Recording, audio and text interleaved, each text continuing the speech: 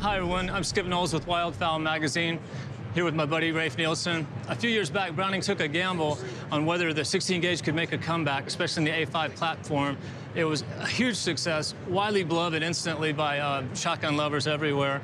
And they're building on that now by taking another gamble and having a shotgun made in the A5 in waterfowl-friendly patterns and usage.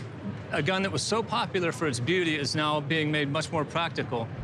Absolutely. We've had great success with this 16 launch. We're kind of known as, as, for 16 gauges, both in A5s, the old style, the old Sweet 16, uh, the new one we came out with several years ago, along with our Citoris as well in 16. Mm. So we got a lot of 16 gauges that are out there.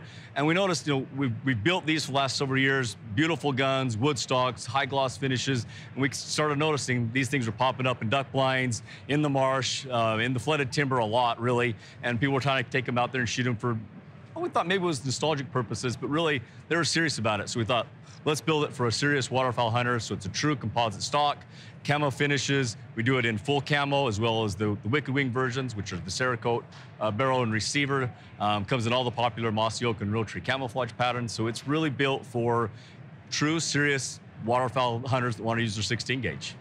Oh, it's fantastic. And even though it lost the classic look with this modern look, it's still a gorgeous gun. Yeah. And I know you personally were pretty instrumental in testing on waterfowl and getting out there in the flooded timber. And we did. And proving to people that with modern waterfowl loads, even steel loads, it could really do the job. So that's probably part of the, the I th think this one's going to be just as popular. We, we believe so too. We're excited about it. Well, just uh, I'd be excited if you take me out hunting with you one of these times. I'll do that. let's do that. Where can people find out more about the A5 16 gauge? Best place to find about it is browning.com. All right, man. Thanks, brother. You bet. Thank you.